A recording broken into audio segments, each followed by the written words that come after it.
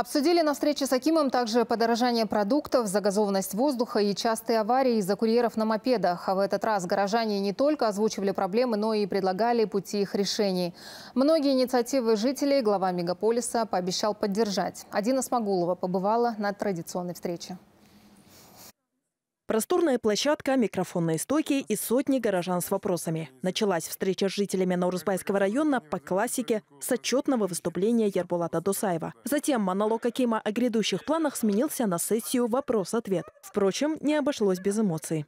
Но позднее обстановка все же изменилась, чего не скажешь об алматинском смоге, который многим не дает покоя, как этому мужчине. Но вместо привычных претензий и требований решить экологическую проблему, он выступил с предложением. 16 видов оборудования придумал, 10 патентов имею. Народ задыхается.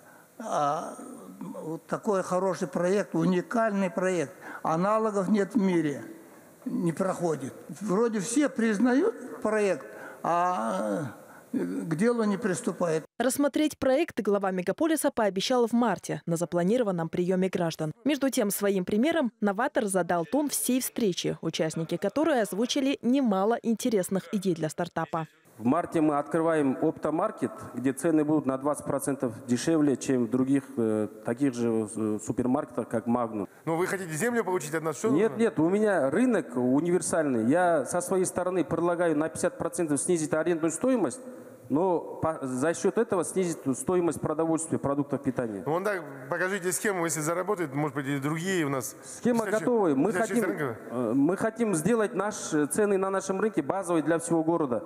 То есть есть возможность. Хорошо.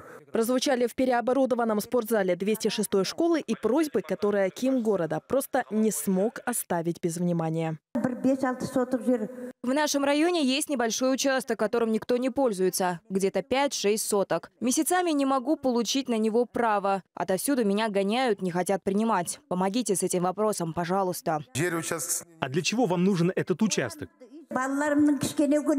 Хочу построить там дом моим внукам. 12 лет назад погибла их мать. Вот недавно умер и отец. Кроме меня у внуков никого и ничего больше нет. Жить им негде. Если я не построю там дом, эти маленькие дети на улице останутся. Давайте поступим так. Я дам задание начальнику управления. Как только он примет ваши документы, сам лично проверю их. Посмотрю, как можно решить этот вопрос. Постараюсь вам помочь. Несло ясности это всеобщее собрание и другой, не менее важной проблеме – вседозволенности на дорогах курьеров-мопедистов, приводящей к авариям и травмам. Они по всей дорогам ездят. У них 18 лет парням, 16 лет. Они ни прав не имеют, ничего. То есть э, они создают аварийные ситуации. Что-то решить надо с ними тоже. Министерство внутренних дел уже внесло законопроект, она находится на рассмотрении, в котором электрические самокаты и мопеды, которые как раз меньше 50 кубиков, наконец станут признаны транспортными средствами. Поэтому, если закон примется, их признают транспортными средствами, тогда у нашей дорожной полиции появятся инструменты требовать права, правила езды и так далее. Словом, встреча выдалась продуктивной. Отчаявшиеся хоть как-то разрешить ситуацию, жители нашли решение проблем, а желающие внедрить новые проекты – поддержку от Акима. Адина Смогулова, Сагандах Нарыков, телеканал Алматы.